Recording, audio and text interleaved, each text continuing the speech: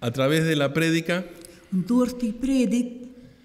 una vez más mi corazón ha sentido la voz de Dios. hat wieder einmal mein Herz die Stimme Gottes gehört. Y Él nos ha dicho, yo te conozco, Und er hat uns gesagt, ich kenne dich, yo te amo, ich liebe dich, sé lo que tienes que llevar cotidianamente. ich weiß, was du alle Tage zu tragen hast. Y lo mismo que ocurría con las, las primeras comunidades en el primer tiempo, Und das Gleiche, das geschah in den ersten Gemeinden in der ersten Zeit, ocurre hoy. geschieht auch heute. Nuestro enemigo común trata de desviarnos de la verdadera fe.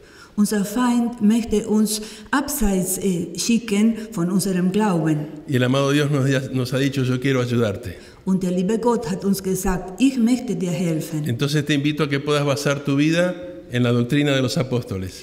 Ich lade dich ein, du sollst dein Leben auf der Lehre des Apostels äh, gründen. Para la toma de nuestras decisiones, Aber damit wir unsere Entscheidungen treffen können, Dios nos ha dicho, Gott hat uns gesagt, el Evangelio está por sobre las tradiciones y las reglas. das Evangelium ist über die Traditionen und die Regeln.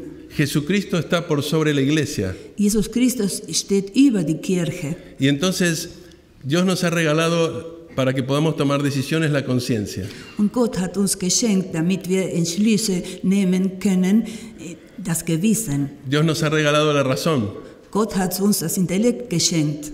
Y cuando tomamos decisiones a través de la conciencia y la razón, decimos, es una decisión en el sentido común. Und wenn wir Entschlüsse nehmen äh, mit dem Intellekt und mit dem, mit dem Kopf, dann ist etwas mit, äh, was wir alle Tage machen. Pero nos ha enseñado, ahora tienes que pasarlo por el filtro del Evangelio, esa decisión. Aber jetzt musst musst du diese Entscheidung über den Filtern von Evangelium nehmen. Cuando pases la decisión por el filtro del Evangelio, de la doctrina de los apóstoles, no te vas a confundir. Wenn du das auf dem Filter vom Evangelium machst, dann wirst, wirst du dich nicht enttäuschen.